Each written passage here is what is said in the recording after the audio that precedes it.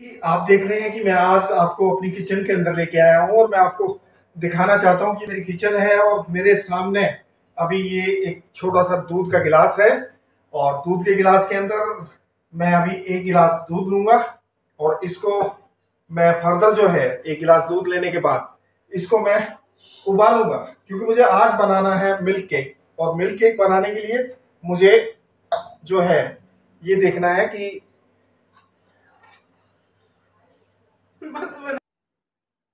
ये है छोटी इलायची का पाउडर ये आपके सामने है चीनी और ये आधा कटा नींबू। ये ज़रूरत पड़ेगी मिल्क केक बनाने के लिए। और दूध मैंने जैसे आपको बता दिया था कि एक गिलास आपने दूध लेना है। और ये चीनी की जो क्वांटिटी आप देख रहे हैं, और जैसे ही मतलब आप क्वांटिटी अपने स्वाद के अनुसार कम या ज़्यादा कर सकते हैं, जैसे आपने टेस्ट करना है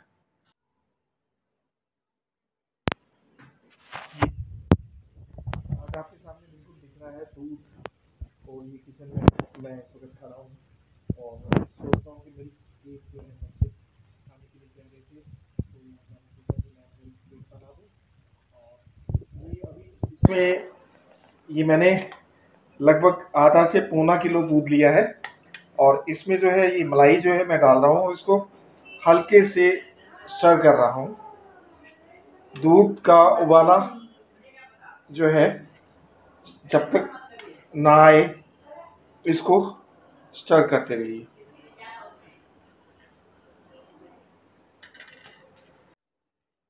दस मिनट तक जब तक इसका जो कलर है दूध का ना चेंज हो जाए तो इसको आप जो है ब्राउनिश कलर हो जाएगा जब दूध का, तब तक इसको हिलाते रहिए। और मुझे पूर्ण विश्वास है कि मैं मिल्क केक बनाने में कामयाब हूँगा ये अभी आप देख रहे हैं कि जो दूध है, वो पूरी तरीके से बॉयल हो रहा है और इसको आप, है ना, घुमाते रहिए। और जब तक जो है कलर जो है इसका चेंज ना हो जाए तो इसको ब्राउनिश कलर ना आ जाए, तब तक इसको घुमाते रहिए।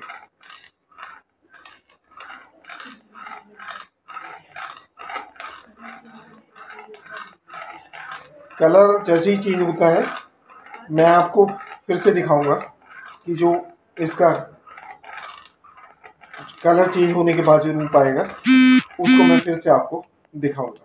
तो जैसे कि आप देख रहे हैं कलर भी चेंज हो गया है, हल्का ब्राउन कलर ले लिया है ब्राउनिश कलर ले लिया है और दानेदार भी हो चुका है। अब इसमें ये जो पोजीशन है, इसमें आपको नींबू डालना है। जैसे आप ये देख रहे हैं कि ये ये देखिए, दानेदार, दाना जो है, वो बन चुका है। ये देखिए, बिल्कुल, ये देखिए, खाना दिख रहा होगा आपको बिल्कुल। और इसके बाद आपको नींबू डालना है। और नींबू डालने के बाद जो है, आपको इसको दो या तीन मिनट जो है, इसको हिलाना बिल्कुल नहीं है। नींबू है। ये मैंने आधा पौना चम्मच जो नींबू लिया है। और अब मैं कोशिश करूँगा नींबू इसको, मैं इसमें डालता हूँ। और इसको आधा चम्मच नींबू डालने के बाद जो है, इसको आप लोग तीन या चार सेकंड पाँच सेकंड तक इसको आपने बिल्कुल हिलाना नहीं है।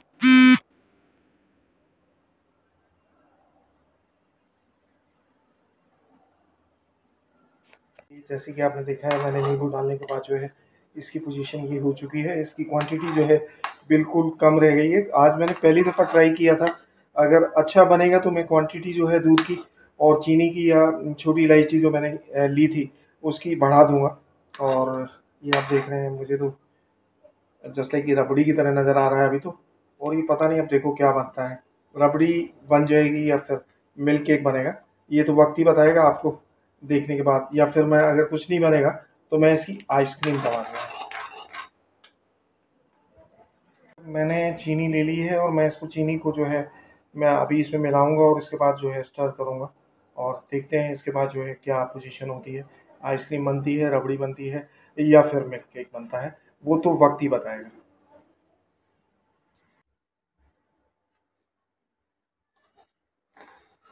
ये चीनी मैंने मिला दी है।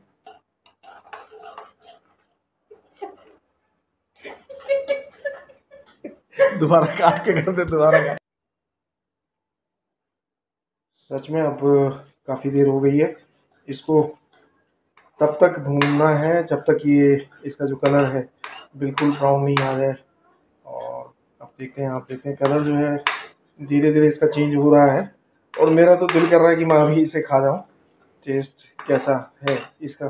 टेस्ट करने के बाद मैं आपको बताऊँगा। इसके बाद मैं सोचता हूँ, इसमें एक आधा चम्मच जो है, घी भी डाल दूँ, जिससे जो है, ये इसमें थोड़ी सी स्मूथनेस आ जाए। और ये आप देख रहे हैं, बिल्कुल तेज़ी से आप इसको 10 या 15 मिनट के लिए मैंने इसको, अब इसको भूनना है। 10 मिनट तक के लिए इसको मुझे भूनना है और ये आप देख रहे हैं मिल्क केक जो है, ये हल्का हल्का जो है ब्राउन हो रहा है और मुझे इस तक इसे भून कि आप देख रहे हैं कि अब ये जो है कलर इसका बिल्कुल ब्राउन हो गया है और मुझे लगता है कि अब ये जो है अपनी जो शेप है वो लेने लगा है। हाँ मज़ा आ गया, बिल्कुल। बाज़ार जैसी कलर अब इसका हो चुका है आप सामने देख रहे हैं। अब इसके अंदर मैं डालूँगा ये सामने छोटी इलायची का पाउडर और ये छोटी इलायची का पाउडर मिलाने के बाद मैं आपसे फिर मिलता हूँ। ये देखिए आपके सामने मैंने इसको एक छोटे बर्तन में निकाल लिया है और ये बड़ा इसका कलर जो है बड़ा सुंदर आया है और टेस्ट भी कलर के हिसाब से अच्छा ही है। और मुझे तो लगता है ये मथुरा के पेड़े जो हैं उस तरीके से बन गया है। चलो जो भी बनेगा मैं खाने के बाद आपको बताऊँगा।